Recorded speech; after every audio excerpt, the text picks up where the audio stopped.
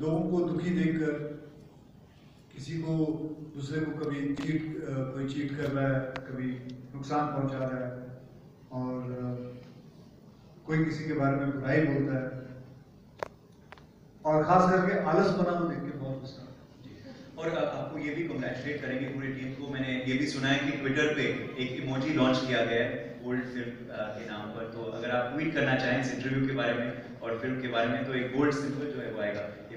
मगर ट्विटर पे आजकल चर्चा हो रही है ट्रोल्स के बारे में, Akshay. How do how do you deal with trolls because आजकल